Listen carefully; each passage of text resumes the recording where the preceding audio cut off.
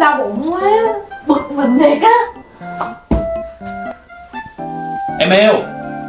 Em lại tới tháng đúng không? Có đau bụng lắm không? không biết đâu anh thì biết cái gì?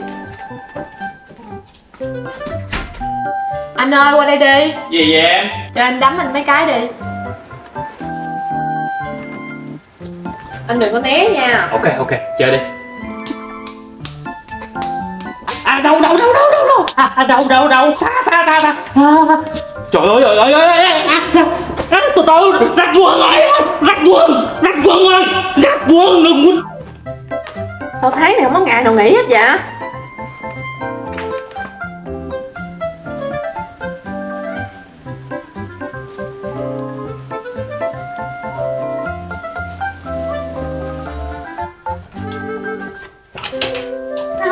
Gì để bận với vậy?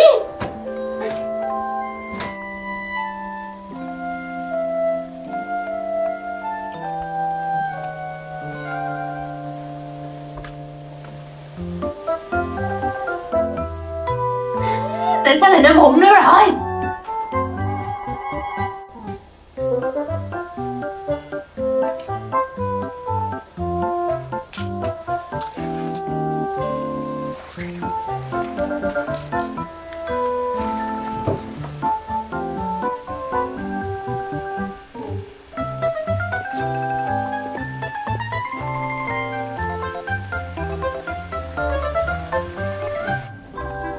Em đang ăn cơm một mình hả?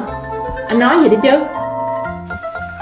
Anh nghe nói á, là ngày mai trời rất lạnh luôn á. Lạnh hay không thì có liên quan gì? Quay bị lạnh anh vui lắm hả? Nó có đâu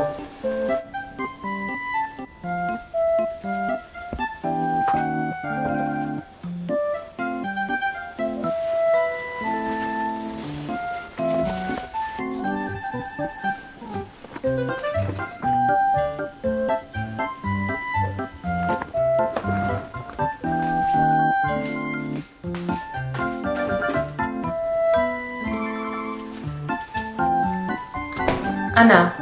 Hả? biểu cảm của anh làm sao? Anh có gì bất mãn với em hả? Nếu có thì anh cứ nói ra đi. Nói đi rồi em sẽ sửa đổi mà. Anh đừng có khiến em trở thành người xấu như vậy chứ. Em cũng đâu phải kiểu người khó ở hay gì đâu. Ừ, ừ, ừ.